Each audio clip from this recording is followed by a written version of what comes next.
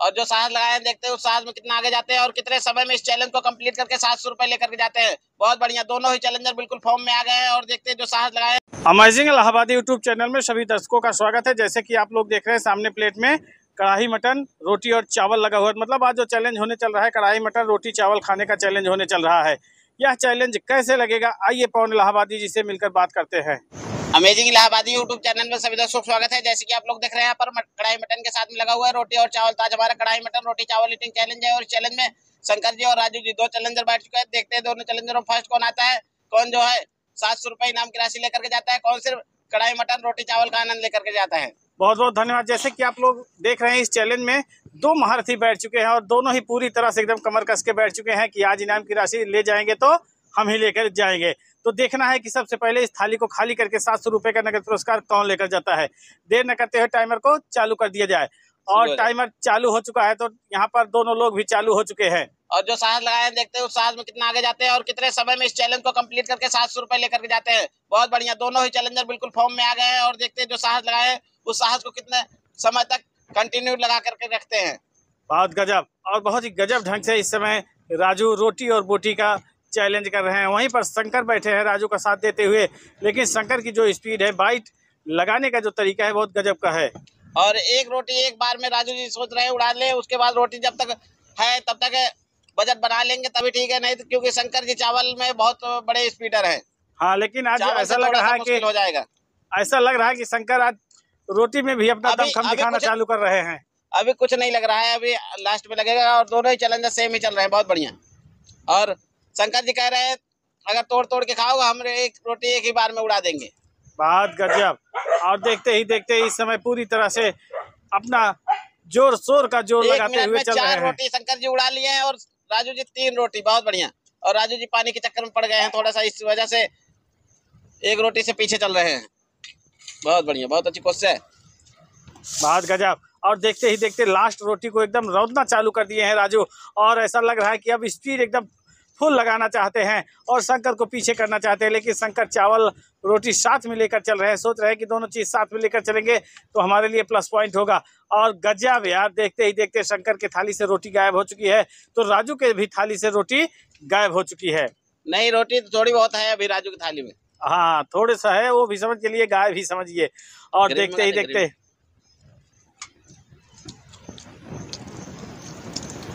बात गजब।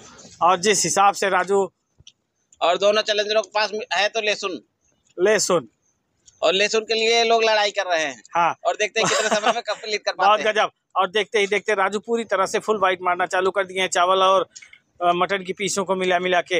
इधर शंकर पूरी तरह से हड्डी को एकदम अलग कर दे रहे हैं। जो लहसुन डला होता है उसका अलग ही जायका रहता है।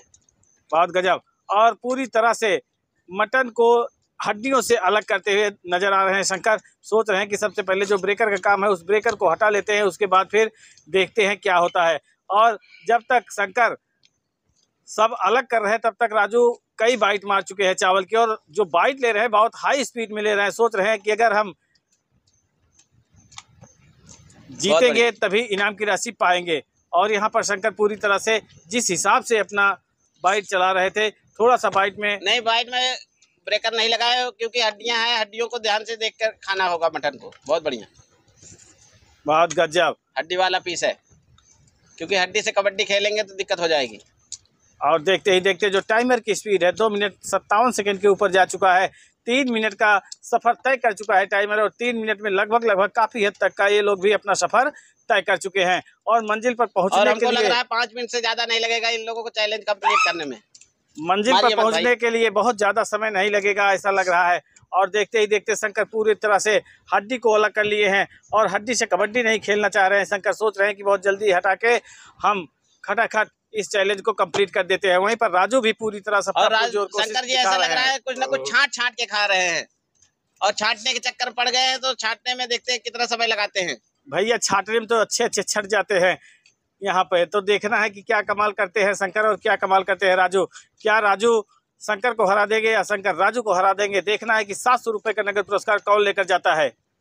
और दोनों ही चैलेंजर बहुत बढ़िया कोशिश कर रहे हैं और हमारा टाइमर चार मिनट पहुँचने को है और इन लोगों की स्पीड जो है काफ़ी अच्छी है। और हमको लग रहा है बहुत गजब। और शंकर आ चुके हैं अपने पुराने पुराने परफॉर्मेंस में। पूरी तरह से जितना चावल था मिला मिलाना चाह रहे हैं। बाइट बनाना चाह रहे हैं और बाइट बन भी गई है तो और देखना राजू है। सोच रहे पानी को पी लेते हैं उसके बाद फटाफट उड़ाते हैं। बहुत गजब। और पड़ेंगे तो शंकर जी इनसे आगे निकल जाएँगे फिर ये मटन और चावल का ही आनंद ले पाएँगे।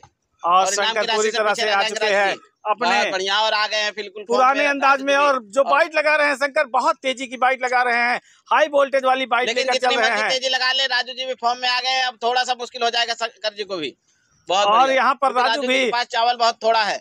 राजू भी अपनी करामात दिखाते दिखाते लगभग लगभग मंजिल के एकदम करीब पहुँच चुके हैं। मात्र दो पीस मटन का बचा हुआ है जबकि शंकर के थाली में मटन नाम की कोई चीज़ नहीं बची हुई है।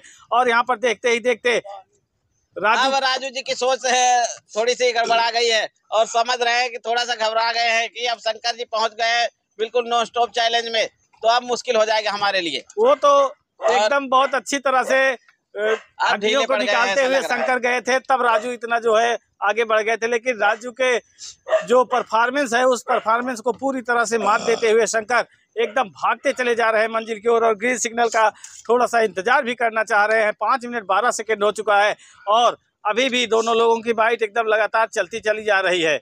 लेकिन अब हमको लग रहा है कि 90 परसेंट शंकर जी के पहलू में चला गया है यह चैलेंज हाँ। और 10 परसेंट चांस है सिर्फ़ राजू जी के पास। और देखते हैं 10 परसेंट को क्या करते हैं। 100 परसेंट में बदल पाते हैं यहाँ पर शंकर 10 परसेंट को 100 परसेंट हारने में बदल देते हैं। बहुत गजब। और देखते ही देखते पूरी तरह से जो बाइट अगर देखा जाए तो शंकर की बाइट एकदम समाप्ति की ओर पहुँचने वाली है जबकि राजू की थाली में अभी भी कम से कम पाँच बाइट होगी जबकि शंकर की थाली में लास्ट बाइट उठ रही है। तो राजू जी आए हौसला दिखाए राजू जी का धन्यवाद करते हैं और शंकर जी को इनाम की राशि कैश देते हैं। आराम से खा लीजिए राजू जी। कढ़ाई मटन रोटी चावल ईटिंग चैलेंज में लोग आए हौसला दिखाए इन लोगों का धन्यवाद करते हैं और शंकर जी इस चैलेंज में कर चुके हैं। शंकर जी को इनाम की राशि कैश देते तो हैं। जैसे कि आप लोग देख रहे हैं इस चैलेंज में राजू और शंकर बहुत ही गजब ढंग से मंजिल की ओर भागना चाहे। राजू तो पहले बहुत अच्छी स्पीड लगाए रोटी जैसे खत्म हुई चावल में जैसे ही राजू आए पूरी तरह से इनकी स्पीड डाउन हो गई। और शंकर देखते ही देखते इस चैलेंज को जीत गए हैं और इनाम की जो राशि है उनके हाथ में भी पहुँच चुकी है। पैसा मिल गया भैया? हाँ हाँ। कितना है? वही सात सौ। तो ये क्या कर रहे हैं? अच्छा। तो रोटी में भी आज काफ़ी अच्छी स्पीड लगाए थे शंकर जी और चावल में भी। तो दोनों लोग आए, हौसला दिखाए, दोनों लोगों का धन्यवाद करते हैं। और इसी तरह से आप लोग भी इन लोगों के सपोर्ट के लिए वीडियो को लाइक, शेयर, कमेंट करते रहें। मिलते हैं नेक्स्ट वीडियो में, तब तक के लिए धन्यवाद।